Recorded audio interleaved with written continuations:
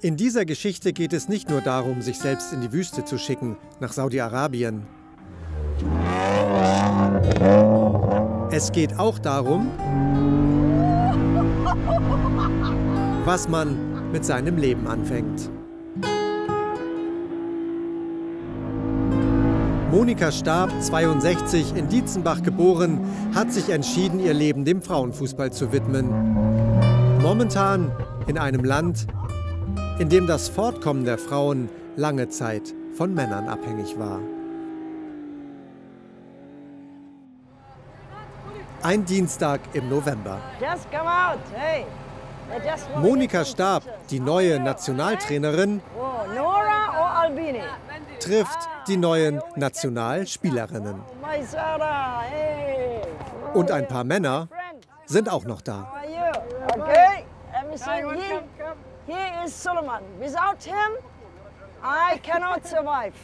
Es ist das erste Training einer Frauennationalmannschaft von Saudi-Arabien. Ein historisches Ereignis. Doch hier mal ein Rasen, ne?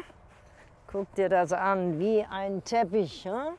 Ich will erstmal einfach, dass sie sich auch ein bisschen eingewöhnen mit Ballarbeit natürlich. Ich will jetzt nicht groß äh, mit denen Taktik besprechen, weil da ist einfach die Zeit nicht dazu. Ist das erste Mal, wo sie Großfeld spielen. Also ich will auf jeden Fall noch ein schönes Abschlussspiel machen und ein bisschen aufwärmen. Torschuss gehört immer zu meinem Training, weil das ist der Sinn des Fußballs, ist Tore schießen. 25 Spielerinnen sind in Tryouts von Stab und ihrem Team ausgewählt worden. This is real grass, huh? Yes. Good morning. Guten Morgen, guten Tag, guten Morgen, guten Abend. Mehr als 700 hatten sich beworben. So, well, what a historical moment we have now. You know, this is the first time we come together. Die Frauen kommen aus Riyadh, aus Jeddah und Dammam. Sie sind zwischen 16 und 30 Jahre alt und haben alle denselben Traum. Monika Stab, die einst dem ersten FFC Frankfurt zu Glanz und Gloria verholfen hat, ist als Entwicklungshelferin nach Saudi-Arabien geholt worden. Just moving in the square, control the ball. Dort, wo die Frauen bis vor drei Jahren nur im verborgenen Fußball gespielt haben, weil es ihnen zumindest offiziell nicht erlaubt war.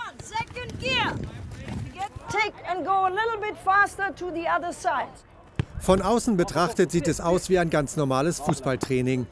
Nicht normal ist allerdings, dass wir uns als Männerteam mit der Kamera frei unter den Frauen bewegen dürfen und die die Übungen vergleichsweise unverhüllt absolvieren.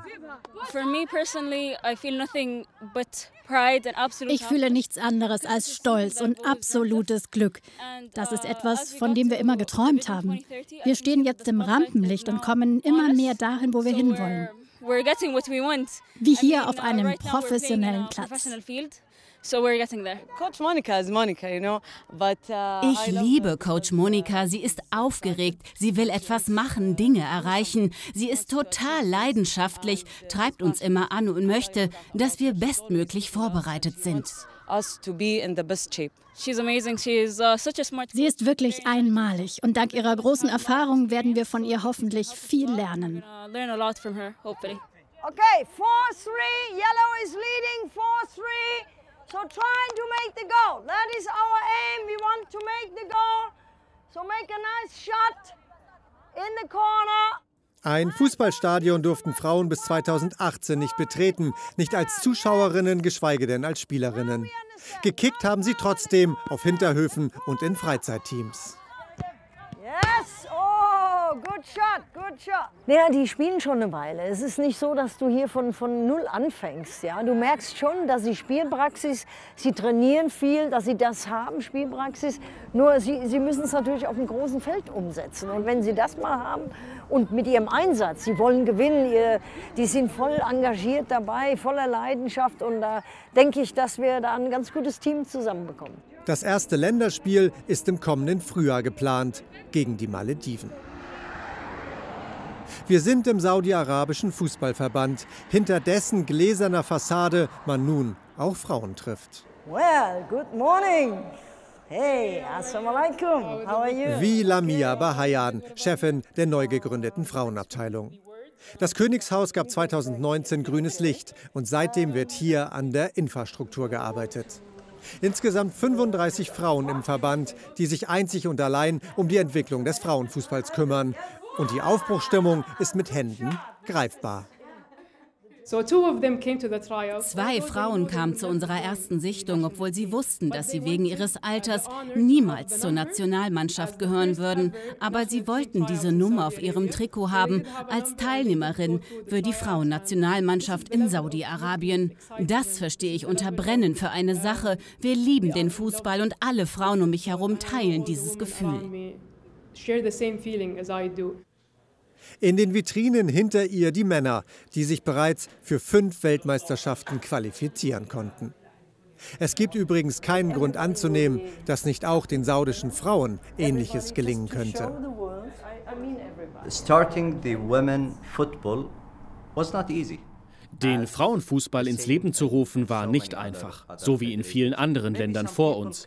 Einige Kritiker werden sagen, dass wir damit zu spät begonnen haben. Aber es war nicht zu spät. Es war perfektes Timing. Für jeden Schritt gibt es eine Zeit. Man will nichts überstürzen und inzwischen sieht man, dass die Gesellschaft bereit ist. As you can see, the society is ready. Das erzkonservative Königreich hat die Frauenrechte seit 2018 sukzessive gestärkt. Frauen dürfen Auto fahren, ohne die Erlaubnis eines männlichen Vormunds ins Ausland reisen und neuerdings alleine wohnen. Das war ihnen vorher untersagt. Die Reform ist Teil der Agenda von Kronprinz Mohammed bin Salman, die das Ziel hat, das ramponierte Image Saudi-Arabiens aufzupolieren. Inwiefern gab es in Ihrem Freundeskreis Stimmen, die gesagt haben, Monika, wie kannst du da hingehen? die gab es zu Genüge, ja. Ich meine, ich habe jetzt, glaube ich, seit zwei Monaten bin ich jetzt hier in Saudi-Arabien und äh, fast täglich gebe ich Interviews. Für mich ist die politische Seite, wo ich mich auch grundsätzlich äh, raushalte, weil für mich sind die Frauen wichtig, den Frauen alles zu geben, dass sie das Fußballspielen lernen, dass sie die Chance haben, die Gelegenheit bekommen, äh, Fußball zu spielen und ihren Traum erfüllen. Und man muss hierher kommen, die Menschen kennenlernen. Und es ist nicht alles negativ, so wie es immer auch natürlich dargestellt ist. Und die Menschen sind einfach so freundlich und so fußballverrückt. Äh, das muss man einfach erlebt haben, um dann auch dann darüber zu urteilen. Im Dezember 2020 ist Monika Stab das erste Mal in Riyadh, um einen Trainerinnenlehrgang zu leiten. Seit September diesen Jahres lebt sie dort und soll den Frauenfußball in Saudi-Arabien salonfähig machen. Wer wäre für diese Aufgabe besser geeignet? Stab lebt für den Fußball und für die Frauen, die ihn spielen wollen.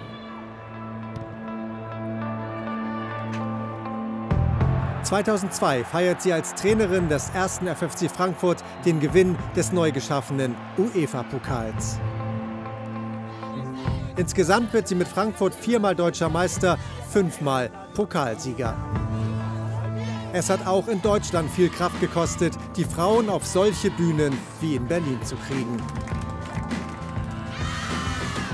2007 beginnt für Stab ein neues Kapitel als Fußball-Entwicklungshelferin. Bis heute hat sie durch den Fußball in mehr als 80 Ländern, in Gambia, Afghanistan, Nordkorea, Iran, die Stellung und Rechte von Frauen gestärkt, voller Hingabe. 85 Länder in 14 Jahren, was bedeutet Heimat für Sie? Das ist eine gute Frage. Ich habe immer gesagt, der Flieger war ja vor natürlich Corona kam äh, sozusagen mein Zuhause. Wenn immer ich Touchdown hatte mit dem Flieger, also das, das war immer so, dann habe ich mich zu Hause gefühlt. Ich glaube, wenn man jemandem was gibt und die anderen dir ein Lächeln zurückgeben, das Smile, das gibt dir die Energie, also dann ist das auch Heimat, wenn jemand dir einfach dankbar ist für das und schätzt, was du machst. Und äh, ich sage immer, ich gebe denen den Funken, das Feuer müssen sie selbst entfachen. Empfang in der deutschen Botschaft in Riyadh. Monika Stab und ihr neues Team sind eingeladen. Sehr schön, dass Sie da sind. Der Job in Saudi-Arabien ist für Stab eine Art Krönung ihrer Karriere, weil es ihr so lange verboten war, dorthin zu reisen. Als Botschafterin für Frauenfußball in Ländern mit repressiven Regierungen. Es ist eine sehr differenzierte Betrachtungsweise jetzt angesagt. Es passen nicht mehr die Schablonen, die vor drei Jahren passten. Alles vor dem Kontext, dass wir hier nach wie vor in einer absoluten Monarchie leben, dass wir in einem islamischen Staat leben, wo es natürliche Unterschiede, logische Unterschiede gibt zu dem Demokratieverständnis in Deutschland. Aber insgesamt muss man sagen, dass dieser Staat hier jetzt einen Reformprozess zulässt, der von der Gesellschaft dankend aufgenommen wird oder von weiten Teilen der Gesellschaft. Das ist etwas sehr, sehr Positives. Wir sind an der Princess Noura University in Riyadh. 39.000 Studentinnen gibt es hier. Es ist die größte Frauenuniversität der Welt. Heute haben alle einen freien Tag. Nicht so Monika Stab. What do we need to play football? How to play a game? We need a ball. Die 62-Jährige, deren Energiereserven unerschöpflich zu sein scheinen, gibt einen C-Lizenzkurs für angehende Trainerinnen.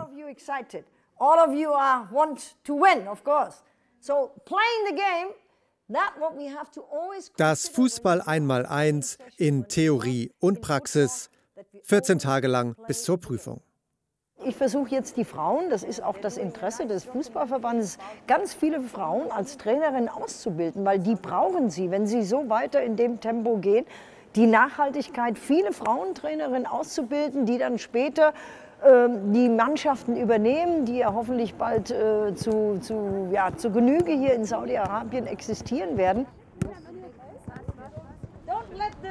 Dass sie nicht von heute auf morgen eine Revolution starten kann, dessen ist sich Monika Stab gewiss. Für sie geht es darum, ein Fundament und dann Stück für Stück mehr aufzubauen. She maybe makes fun of me, huh? sometimes. Players make fun of the coach, yeah? Die Begeisterung für diese Aufgabe ist ihr anzusehen und das nicht nur, weil zufällig eine Kamera auf sie gerichtet ist. Als es dunkel wird über dem Unigelände, kommen die Jüngsten. Der Nachwuchs fürs Nationalteam sozusagen some socks. Amir. Amir. Dima. Dima. Rena. Rena. And? Sam. You, how old are you? Nine years old. Nine years old. And Dana, how old are you? Uh, seven. So who wants to be national players? Hand up! Yes. Was ihren Müttern zeitlebens untersagt war, können die Töchter jetzt leben was a dream come true now. I used to play football and it was very hard uh, ein Traum wird wahr. Ich habe früher auch Fußball gespielt und es war sehr hart für uns, sehr strikt. Und nun sehe ich, wie meine Tochter vielleicht eines Tages Nationalspielerin werden wird. Zum Ende unserer Geschichte geht es noch einmal in die Wüste, wo wir aus heiterem Himmel auf eine Kamelherde stoßen. Ein kleines Klischee muss erlaubt sein. Und außerdem soll man im Leben alles mal ausprobiert haben.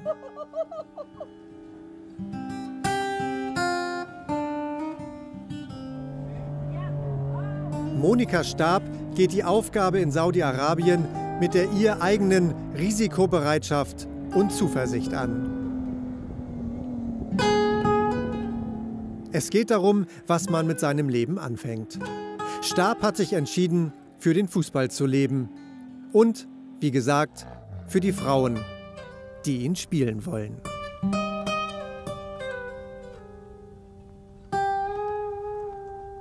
Ich habe gesagt, ich gehe erst von Saudi-Arabien wieder weg, wenn die im Stadion 30.000, 40.000 äh, Zuschauer haben, die ein Frauenfußballspiel anschauen wollen, also die Nationalmannschaft.